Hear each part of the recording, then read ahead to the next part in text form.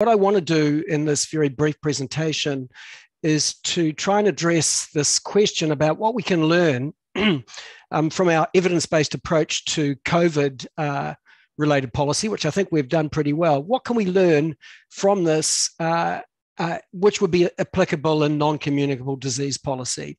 Now, we've actually done, I think, very well so far in terms of evidence based policy around COVID, um, unless, of course, you're Māori. Um, first, our elimination policy pre Delta, uh, which was, in my view, and many others, um, the only evidence based approach uh, to deal with COVID before vaccines uh, became available. And we did very well. We stuck to our um, evidence based elimination policies and approaches despite huge pressure uh, from the business community and others to open up. And as a result, uh, we did extremely well until the recent Delta outbreak. And secondly, um, vaccination is the only sustainable evidence based approach to dealing with Delta. And again, um, although we were a bit slow off the mark, um, we've done a pretty good job at um, getting high vaccination rates, unless, of course, you're Māori. Um, so I think it's fair to say that um, we have been world leaders in using evidence based policies to address COVID. Not the only ones, but we are way up there. And so, how have we done this? Um, what can we learn uh, from this that's applicable uh, to getting more evidence into chronic disease policies, say around nutrition and obesity. Um, you know, why don't we have a sugar tax? Um, why have we only just got folate into flour, as Ayesha Verrall has done? Why have we had significant parts of the country, country's water supply unfluoridated until now, until Ayesha? Um, so, what are the key ingredients of uh, getting um, evidence into policy?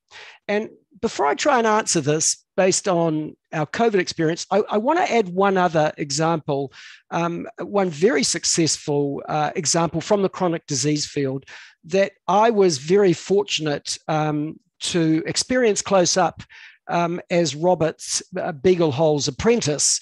And, and, this was New Zealand smoke free environment policies, uh, which were introduced by Helen Clark in the early 19, 1990s. They were uh, world leading at the time and were very effective uh, at reducing smoking, although, like uh, vaccination, not so effective for Māori.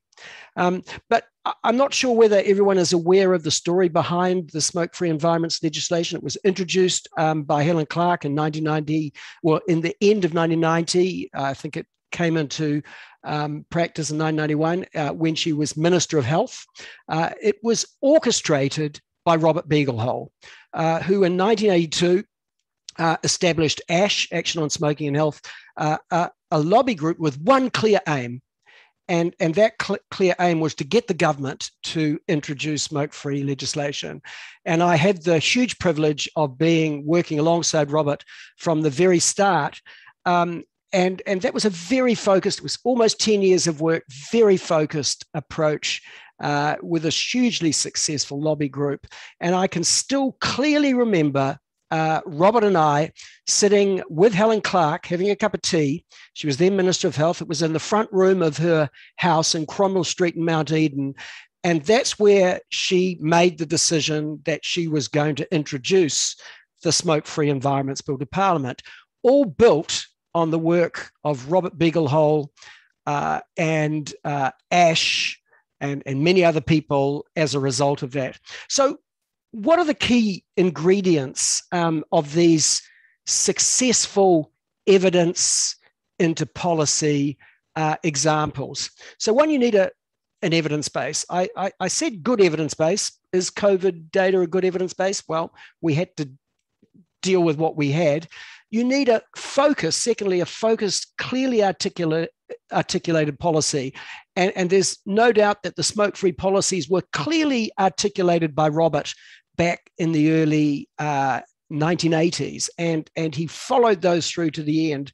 Uh, our elimination uh, policies with uh, COVID 19 pre Delta and our vaccination policies have been focused, clearly articulated, evidence based policies. You need the support of target groups, the key target groups, the public, the politicians, healthcare practitioners, or a combination of groups.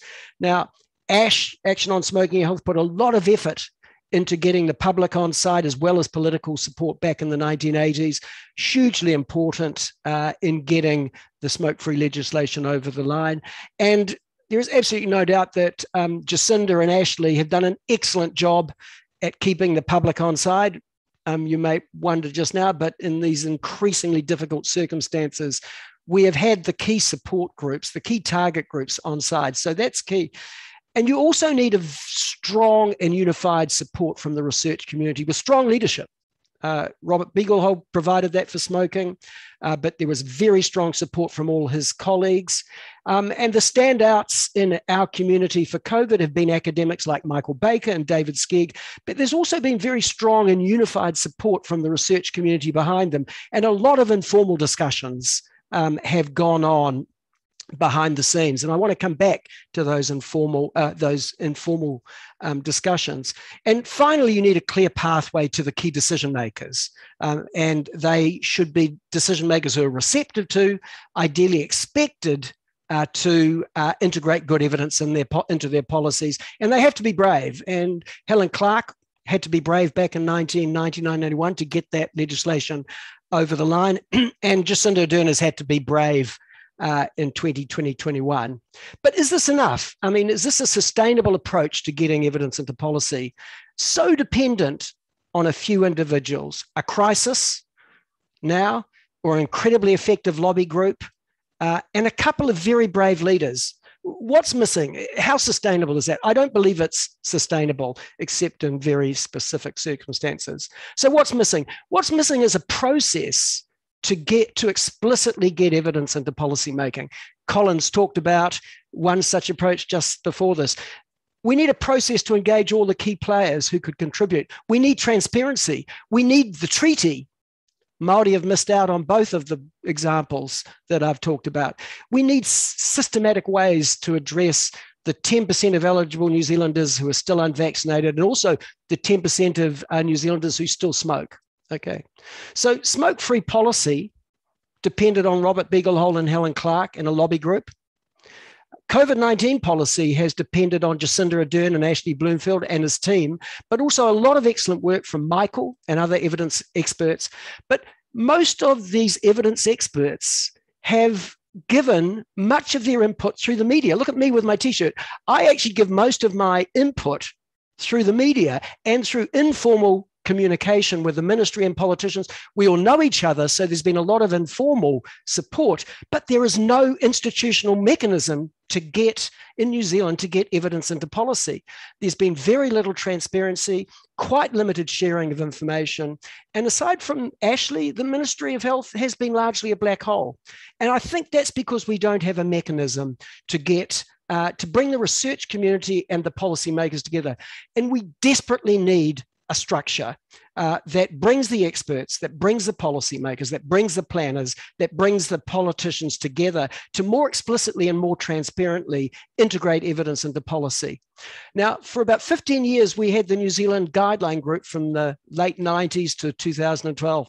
Um, it explicitly focused on evidence based policy. It initially had a strong clinical focus, uh, but it was a forum to bring researchers, practitioners, policymakers together, and there was a clear pathway to uh, the health minister and NZG reported directly to the health minister. So I'm not saying NZGG was the ideal organization.